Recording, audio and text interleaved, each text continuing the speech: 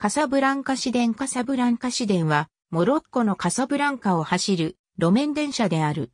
2012年12月11日、モロッコ国王ムハンマド6世により開業式が行われ、フランス首相、ジャンマルク・エローなどが出席した。開業時の総延長は 31km、48停車場を持つ。T1 線は2012年12月12日にカサブランカで初の路面電車として開業した。2013年2月時点ではまだ全線開通には至っておらず、東部の支持網面からカサブランカ中心部を経て南西部のカルティエデ・ファクルツに至る 30km の区間が営業中である。T1 線の路線図 T1 線はカルティエデ・ファクルツからさらに西のキャシニーショはビジネスセンター地区まで延伸される予定である。また、アンゴールからアインディアブに至る枝線は将来的には T2 線となる予定である。エナシムからカルティエデ・ファクルツまでの想定所要時間は64分、エナシムからヘイ、ハッサニまでは69分で結ばれる見込みである。交差点における優先度を75%とした場合、商用での平均時速は 19km 時に達すると見込まれる。路面電車は終日は6時30分から22時まで、週末は6時30分から23時30分まで運行される。運行間隔は、ピーク時は4.5分、平常時は8.5分程度である。ただし、運行に乱れが生じる場合はこの限りではない。カサブライカ市電を運行するカーザトラムはパリ交通公団参加であり、ケスデデイポイデジェスチョン、トランシンベストと共にカーザトラムに出資している。ラトップは5年間で11億ディルハムの契約を結んでいる。カサブランカ市電では、フランスアルストム製のシタディス302を74両保有している。車両はフランスアルザスのライクスホフンにて組み立てられる。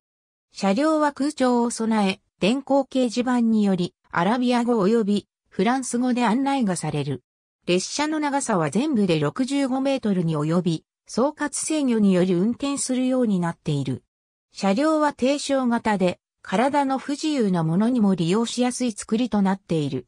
アルストムとの契約には、15年にわたる車両の保守も含まれている。機体の勾配及び保守、付随するサービスを含めて、総額で1億9000万ユーロの契約を結んでいる。運賃はモロッコの物価に見合うもので、乗車1回6ディルハムの均一料金である。また、1週間で60ディルハム、1ヶ月で230ディルハムの乗車券もある。学生については1ヶ月150ディルハムの割引定期乗車券がある。営業開始後、最初の1ヶ月の利用者数は平均して1日あたり4万人から4万5千人であった。2015年には1日の利用者数は25万5千人に上ると見込まれている。2030年を目標とするカサブランカ資源及び地下鉄の計画基本都市開発計画におけるカサブランカ都市圏の都市計画では東西2本、南北2本の計4本の路面電車が計画されている。これらは地下鉄や国鉄近郊列車とともに都市交通ネットワークを形成する。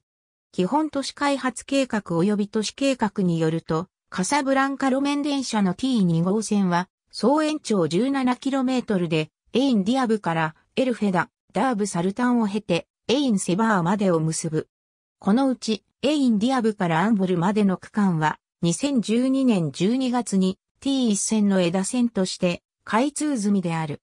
さらに長期的には T2 線をエインディアブからさらに東のヘイ、ハッサにまで延伸し、エインセバーから西へ、シジベアーヌシーまで拡張する計画もある。これが実現すれば、総延長は 27km となる。基本都市開発計画及び都市計画によると、カサブランカ路面電車の T3 号線及び T4 号線は、それぞれ 14km、13km の延長を持つとされる。T3 号線は、シジアスメンから中心街、カサブランカ交易を経て、L、ハンクまでを結び、T4 号線は、スバータからエインチョック、ファクルツを経て、リシスファを結ぶ予定となっている。ありがとうございます。